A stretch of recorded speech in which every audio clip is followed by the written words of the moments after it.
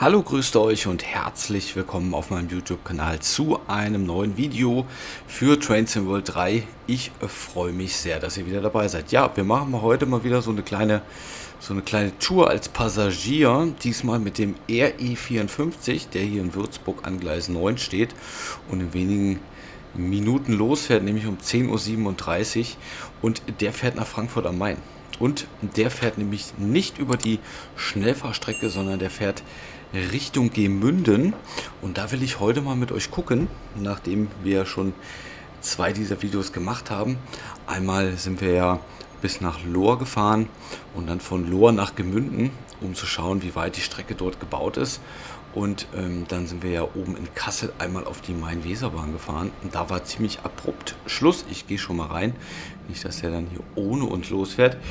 Und heute wollen wir mal gucken, wie weit der Zug, anstatt hier auf die Schnellfahrstrecke zu fahren, nämlich hier unten Richtung ähm, Güterbahnhof in Würzburg fährt. Und dann fährt er ja hier hinten dann unter der Schnellfahrstrecke durch, wo genau hier, kann ich euch jetzt nicht sagen, auf jeden Fall hier unter der Brücke durch. Und ähm, dann geht es hier nach hier oben, circa hier, bis nach Gemünden. Und da bin ich mal gespannt, wie weit wir da heute kommen werden. Schauen wir mal ich bin definitiv sehr, sehr gespannt. Ich hoffe, ihr auch. Und diese Videos, die kommen ja auch sehr, sehr gut bei euch an. Und ich finde das ja selber sehr, sehr spannend, ähm, da so ein bisschen ja zu predikten, was Dovetail Games da so in Zukunft für diese Strecke und auch gerade für die Main-Spessart-Bahn noch so plant. Ihr habt auch gesagt, das hatte ich gar nicht so auf dem Schirm, ähm, mal eben. Das hatte ich ja gar nicht so auf dem Schirm. Na, hallo? Ohne mich losfahren. So, wir setzen uns einfach mal hier hinten rein. So, nochmal. Hatte ich ja gar nicht so auf dem Schirm. Die ähm, Jahre, auf denen die, auf denen die Strecken hier spielen, die sind ja nicht gleich. Hier vorne steht übrigens RE5, das ist aber der RE54. Ähm, glaube, die Main-Spessart-Bahn, die spielt ja im Jahr 2016 oder 2017 und die Schnellfahrstrecke Kassel-Würzburg hier ist, soweit ich weiß, ähm, in der heutigen Zeit angesiedelt. Also kann das schon mal gar nicht gehen, weil die Main-Spessart-Bahn wurde ja auch umgebaut. Ich glaube, bei Heigenbrücken, der Tunnel wurde ja zugeschüttet, da wurde neuer gebaut. Ähm, der Stand der Main-Spessart-Bahn, so wie sie hier im Spiel ist, der ist heute nicht mehr aktuell. Deswegen, das wäre so ein Problem was dafür sorgen könnte, dass die Strecken nicht verbunden werden. Und ihr habt auch echt viel Feedback gegeben. Einige von euch haben geschrieben, dass der Matt von Daftler Games ganz klar gesagt hat, es wird niemals dazu kommen, dass Strecken verbunden werden. Aber ja, Daftler Games hat schon oft irgendwelche Sachen gesagt, die dann doch widerrufen wurden. Und deswegen so ein bisschen, so ein bisschen ähm, ins, ins, ins Schwarze tippen Unbekannte tippen, ist ja auch erlaubt. Und ich finde das auch immer ganz spannend zu sehen, was die Entwickler da so im Hintergrund noch so gebastelt haben. Und ich bin gespannt, ähm, was uns jetzt erwartet, wenn wir hier fahren von Würzburg Richtung Gemünden mit dem RE54. Ich glaube, von Würzburg nach Gemünden sind es knapp 35 Kilometer. Und hier oben geht es ja dann in die Schnellfahrstrecke oder auf die Schnellfahrstrecke in den Tunnel und wir fahren hier unten lang. So, hier ist schon Ende der Sitzung, aber das soll uns ja nicht stören. Wer die anderen beiden Videos gesehen hat, der weiß, man kann hier trotzdem weiterfahren, indem man einfach hier auf zum freien Spiel zurückkehren klickt und dann geht es auch weiter. Hier hängt schon mal die Signale in der Luft. Nicht schlecht.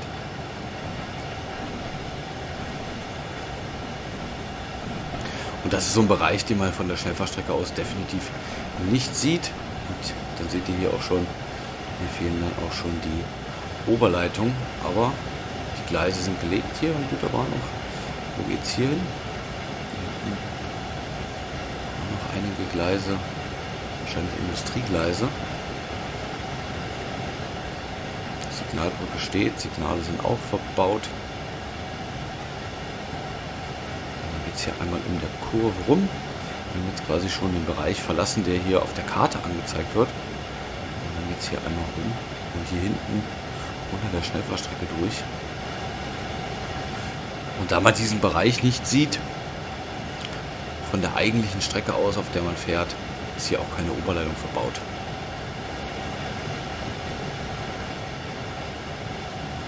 Beginnt dann der Güter- bzw. Rangierbahnhof. Und da hinten stehen auch schon Waggons.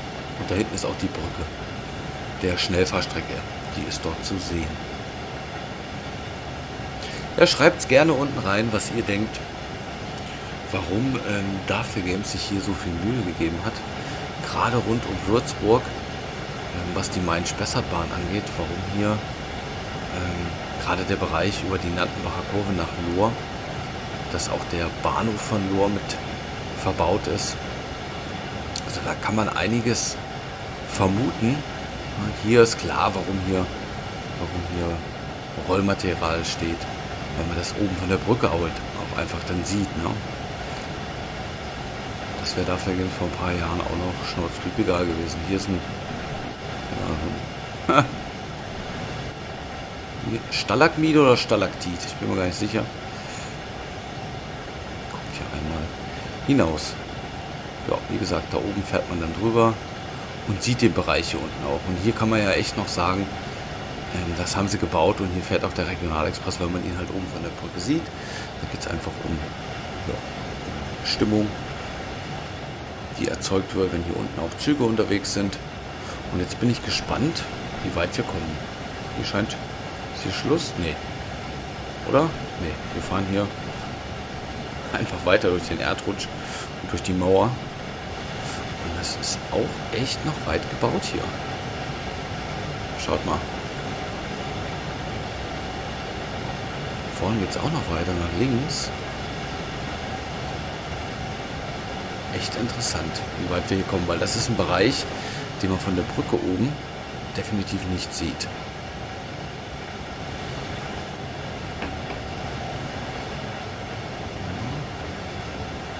die Strecke geradeaus und nach links. Das ist ja auch spannend. Okay. Da spawnt der Zug. Okay. Okay, okay, okay. Schauen wir, ob wir hier aussteigen können. Tatsächlich. Einmal hier, zack. Hier ist dann also Schluss für den Zug. Aber schauen wir mal, wie weit wir hier noch laufen können. Spannend, spannend. Fahren können wir den Zug ja nicht.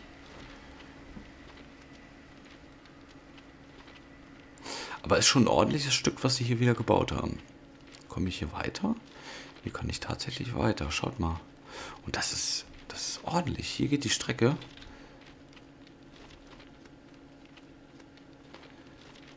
Weiter nach Gemünden. Und dann natürlich auch nach Lohr und Aschaffenburg. Ja, machen wir mal einen Fußmarsch. Ja? Jetzt ist auch wieder die Frage, warum ist dieser Streckenabschnitt gebaut? Obwohl der Zug schon da vorne despawnt. Schreibt es gerne unten rein, was eure Gedanken dazu sind. Ich bin der Meinung, das macht man ja nicht umsonst. I'm walking down the street, I'm walking endlessly. Ja, schauen wir mal, wo wir ankommen. Ob hier irgendwann eine, eine Wand kommt, die sagt, nö, hier kommst du nicht weiter.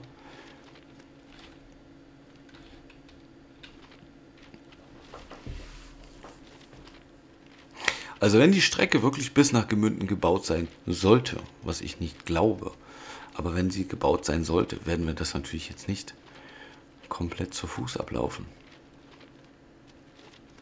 Was man nicht alles macht, ne, um irgendwie Dinge rauszufinden. Aber das ist echt noch weit gebaut hier. Und die Frage nach dem Warum ist halt einfach da. Einige haben auch geschrieben, das hat nichts zu bedeuten. Manchmal sind das auch einfach Test, Teststrecken oder zu Promo-Zwecken irgendwelche Strecken, die dann vergessen werden, rauszunehmen. Oder halt Manchmal auch im, im Fall jetzt von der Nantenbacher Kurve runter nach Lohr und dann der Abschnitt bis nach Gemünden. Einfach nur mal um zu gucken, ob man es umsetzen könnte. Und dann wird es vergessen rauszunehmen, weil man nicht denkt, dass die Spieler so schlau sind und dann mit dem Zug da als Passagier hinfahren. Aber ja, das sollte man ja wissen. Eigentlich als Entwickler, wenn man die Möglichkeit gibt, als Passagier mitzufahren, dass das dann auch gemacht wird. Also für mich ist das nicht ohne Grund. Ich habe es ja schon mal gesagt, damals bei dem Video. Als wir nach Lohr gefahren sind, das macht man nicht ohne Grund. Das kann man sich sparen und dann einfach die Arbeit, die man sich hiermit macht, einfach in, ähm, ja, zum Beispiel Sachen stecken wie Gebüsche in Tunnelwänden entfernen oder Blitze, die durch Tunnelwände zucken, entfernen. Eine, Spiele, eine Spieleschmiede will ja Geld verdienen. Und die machen ja nichts, womit man kein Geld verdient. Und hiermit verdienen sie kein Geld.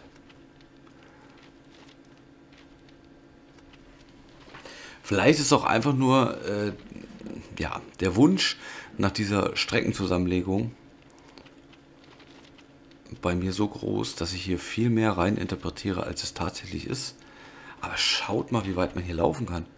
Man sieht gar nicht mehr die Brücke der Schnellfahrstrecke. Also hier kann man definitiv nicht hingucken. Und wie ihr gerade gesehen habt, der Zug, die spawnt viel, viel, viel weiter vorne. Hier stehen auch Bäume. Die werden ja nicht ähm, automatisch gesetzt. Die muss ja auch ein Entwickler hier hinsetzen. Also das lässt wieder viel, viel Spielraum. Also von Würzburg Karlstadt kommt dann, glaube ich, ne? Dann kommt Gemünden, Lohr und dann weiter nach Aschaffenburg. Das ist ja auch knapp 80, 85 Kilometer. Das wäre auch nochmal eine super Sache, wenn sie das machen würden. Aber guckt mal, wie weit man hier laufen kann. Da vorne ist auch, ist da ein Signal?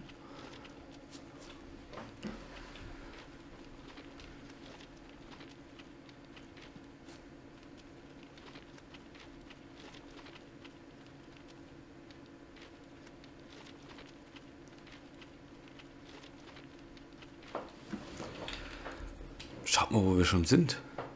Hier unten ist laut Karte das Ganze zu Ende und wir sind schon hier oben. Weit, weit weg von der eigentlichen Strecke. Ich bin mir nicht mehr sicher, wer es geschrieben hat. Ich glaube, der Roadrunner, der hat geschrieben, wahrscheinlich gibt es hier irgendwo außerhalb der eigentlichen Strecke einen Knopf, da drückt man drauf. Den haben die Entwickler versteckt und dann ist die Strecke zusammengefügt. die Main-Spessart-Bar mit der Schnellfahrstrecke Kassel-Würzburg. Lustig wäre es auf jeden Fall.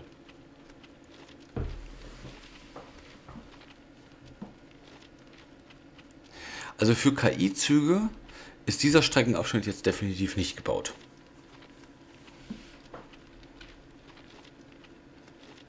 Weil ich betone es gerne nochmal, wir sind ganz da vorne despawned und hier fährt nichts. Hier fährt keine KI, hier fahren wir nicht, hier fährt einfach gar nichts. Auf Erkundungstour Richtung Gemünden.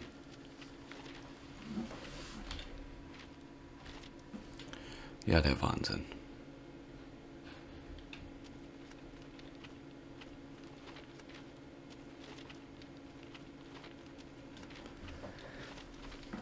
Ich würde sagen, wir laufen jetzt noch fünf Minuten. Entweder wir finden noch was Schönes oder wir kommen nicht weiter oder wir beenden dann das Ganze, weil wenn hier wirklich nur die Gleise verbaut sind, ich glaube da vorne ist auch Ende, ne? Sieht zumindest so aus.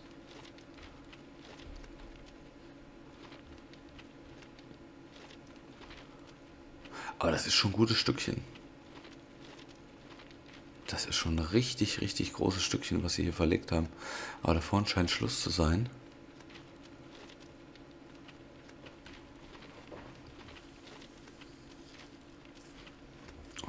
so aus. Nee, da geht's noch weiter.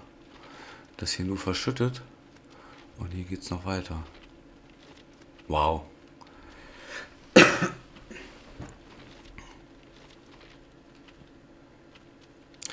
Spannend, spannend, spannend. Ja, wenn man zum Beispiel oben das Video sieht von der Main-Weser-Bahn oben von Kassel, da war ja relativ schnell Schluss. Und auch wenn man ähm, in Kassel-Wilhelmshöhe aus nördlicher Richtung rausfährt, Richtung Hauptbahnhof und Richtung Güterbahnhof, da ist auch ganz, ganz schnell Feierabend. Ähm, warum haben sie es hier nicht gemacht? Es kann für mich nur der Grund sein, dass hier irgendwas noch geplant ist. Da vorne ist sogar eine Weiche verbaut. Es kann für mich wirklich nur der Grund sein, hier ist für die Zukunft noch mehr geplant. Und es würde mich echt freuen. Hier haben sie sogar eine Weiche reingebaut. Schau mal einer an. Einmal eine Weiche. Kann man die sogar stellen? Nee. Das wäre es ja auch noch. Da vorne ist gleich noch eine.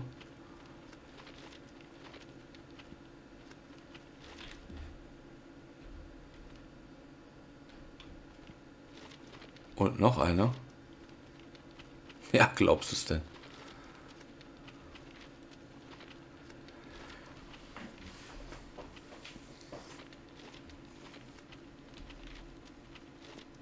Keine Ahnung, wie spannend das für euch ist. Aber so nehme ich euch zumindest die Arbeit ab, falls ihr das selber mal vorhattet. Könnt ihr bei mir schauen. Braucht ihr nicht selber über die Strecke laufen. Schauen wir nochmal auf die Map. Schaut mal, wo ich bin. Das sind bestimmt gute. Boah, schwer abzuschätzen, aber 6, 7, 8 Kilometer sind das. Und es ist kein Ende in Sicht.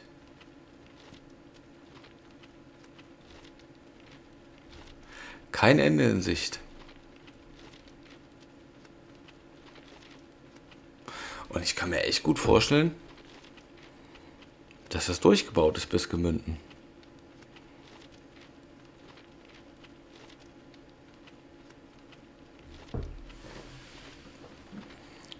echt so ein bisschen baff gerade. Auch, dass hier noch Berge und Bäume und alles stehen. Ich meine, das ist ja alles... Alles auch, ähm, ja, Ressourcen, die verschwendet werden quasi. Hm, hm, hm, hm.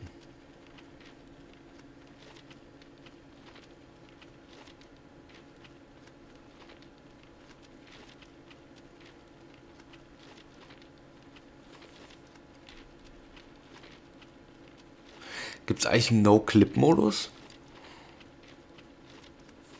Den man irgendwie aktivieren kann? Das wäre ja mal ganz spannend, ne? Wenn man einen No-Clip-Modus hätte. Kann man hier auch hochgehen? Ja.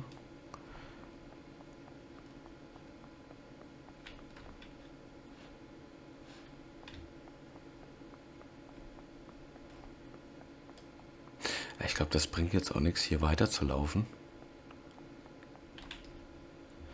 Wir sind echt weit gelaufen. Also das ist wirklich massiv. Das ist wirklich heftig. Na, hier unten haben wir den Würzburger Bahnhof. Und ja, hier knapp irgendwo, hier sind wir despawned mit dem Zug. Und wir sind jetzt bis da hochgelaufen. Also den, ja, fast den halben Weg bis zur Nantenbacher Kurve haben wir jetzt hinter uns. Und ich schätze, dass das Ganze noch ein paar Kilometerchen so weitergeht. Und da bin ich echt gespannt, was ihr dazu sagt. Warum liegen hier Gleise? Wo man doch mehrere Beispiele hat, wo die KI-Züge noch einen halben Kilometer ähm, fahren und dann einfach ihren Despawn-Punkt haben und dann hören auch die Gleise auf. Siehe oben die Main-Weser-Bahn bei Kassel, die ja dann relativ schnell endet. Und wie ich eben gesagt habe, auch die nördliche Ausfahrt Richtung Kasseler Güterbahnhof, wo auch nicht viel verbaut ist, sondern relativ schnell das Ganze aufhört. Da gibt es auch nicht viel zu zeigen. Ähm, aber hier unten, ich finde schon, dass das einen höheren Sinn hat und da auch mehr hintersteckt. Bin gespannt, was ihr meint. Ich bedanke mich auf jeden Fall fürs Zuschauen ähm, und würde mich freuen, wenn ihr dem Ganzen ein Like gebt für meinen Marathon, den ich hier gelaufen bin. Und beim nächsten Mal wieder dabei seid. In dem Sinne, danke fürs Zuschauen und bis zum nächsten Mal. Ciao, ciao.